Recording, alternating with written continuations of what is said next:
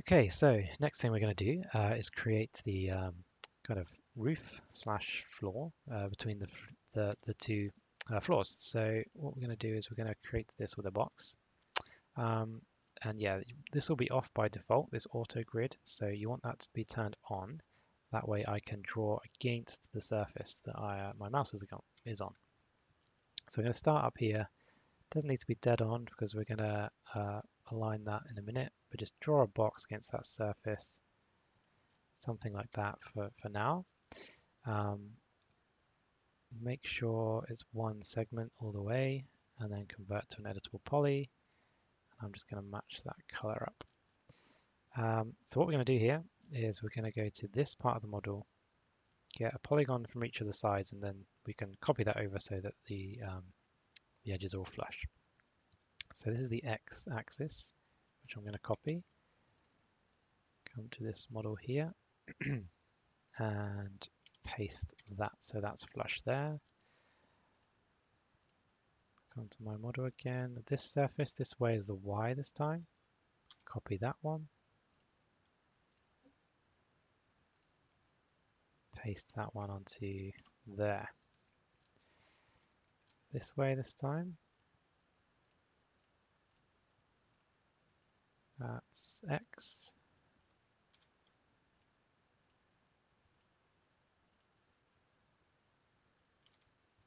There we are. One more to go. This one is y again.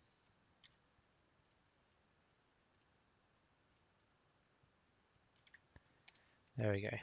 So that's all flush. Now, there's a couple of things we need to do to this. Um, mainly because there's a staircase in here. So, you know, we need a, a cutout to actually get up to the next floor. And we've got this window situation where the window continues on upwards. So what I need to do now, um, actually just make sure I've aligned the height of this to there, that's fine. I'm going to go to the top view, which is here. I'm going to go Alt X so I can see through it. And I'm going to, going to go to edge. Now I'm going to cut in edges where um, the staircase and everything is going to be. So first of all, I need that wall there. So I'm going to go that way, which will select those edges on that side. I'm going to hit connect.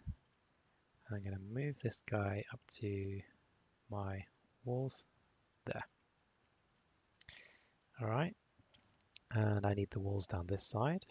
So I'm going to go this way, connect, move that along up there.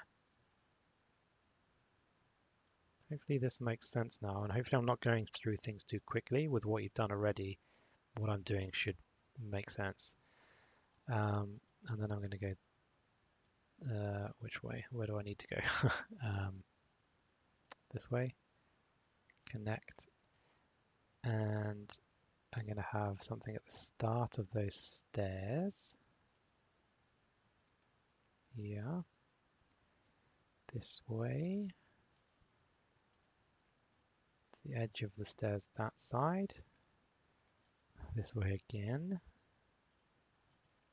The edge of the stairs this side and then this way once more because I need something the end of the stairs there. What I've my goal is to create here is a polygon there, those three, so that I can cut that out because that's where the staircase is going to come up. Hopefully that makes sense. And then I just need to do something with these so I got that cut out for those windows. Um, there we go, on that end and one at the end. That should be all I need to do. So now what I can do now is just get those and let's isolate the selection. Of what I can do is a right click. I can isolate the selection, which will get rid of everything else out of the way. And then I can get those, bridge them. That's where my staircase is going to come up. And then this guy needs deleting and um, what will happen is you'll have um, kind of a, you know, the end missing. So you can go to border, select that, and hit cap to cap that off. Uh, yeah, great. So right click and end isolation. Okay, so I've got a section where the staircase um, will go up. And I want to make this really flush as well, so I need the x-axis there to be the same as this one.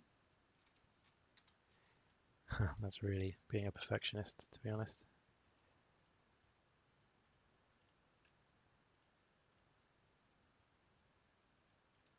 X again.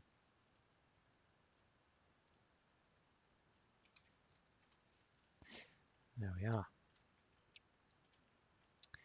Great. So now what I want to do is get this, move it over here, and move it up here. Okay, because I'm just going to be extruding up from this surface, but again, I need to make this perfectly positioned. So I'm going to go to my top view. Can really perfect this later on, but what you can do is if you zoom in really, really far, you can get it basically dead on. And if it needs to be really made flush um, later, we can do that. But for now, that should be absolutely fine. Height-wise, got a little bit of an issue, so that needs to be dropped down. Okay, again, that can be perfected later if needs be. Right, so I'm going to go to Polygon and then Control A. Same process as we did before with the ground floor and we're going to start extruding upwards. Um, I need to look at this view. Okay, here we are again. So I'm going to go up and what we've got, we've got that window there. Tick.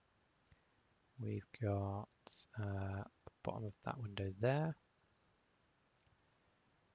We've got top of that window there. And then the bottom of that roof. And then the top of that roof. I say the top of the roof like the top of the bit before the actual roof. Oops. There we go. So as with before, we just need to check that there's nothing we've missed. So if I go to my reference image, which is this guy here, uh, there is, so look, so we've got that window there.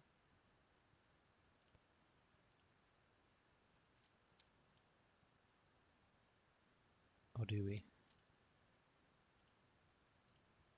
Got the door for sure. That's there. Let's just go ahead and punch it out. Bridge. There's definitely a window to the side of it. That one there, look, it's a bathroom window. So let's bridge that. And that window looks like it's in line with the top of that. So yeah, that is going to be this one here. Think we're going to need to add anything else in. That's quite good. Around the side, there is a window there.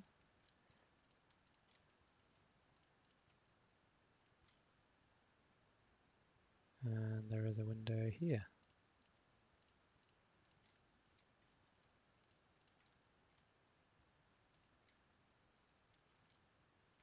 Around the back, we have this one. And we of course have the rest of this one. Okay, which we can make flash again in a minute, but you can see now that with the three combined pieces, we still got that window cut out.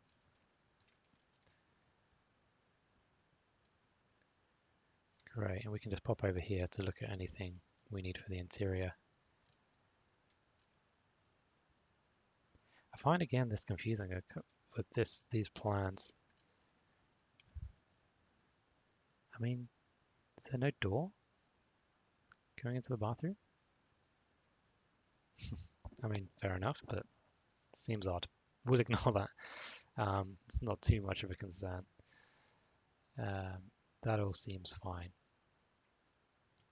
Um, there's an annoying polygon there we don't need.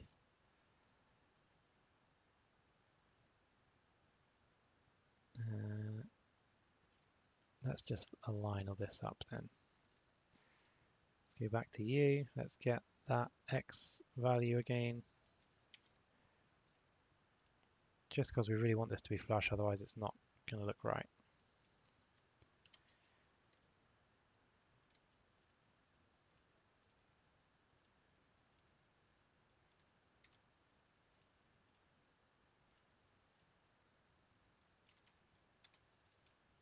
Okay. That's great.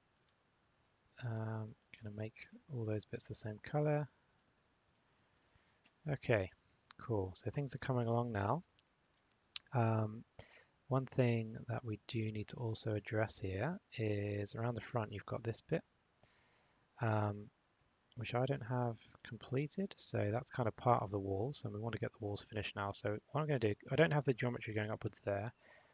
I don't think I need it. What I really can just do um, is extrude this up. Where does that go to? Do I have that on my references here? No, because it's the back. Uh, it only just goes above there. I think I'll have to manually eye that. Something like that. And then we can just extrude this one this way.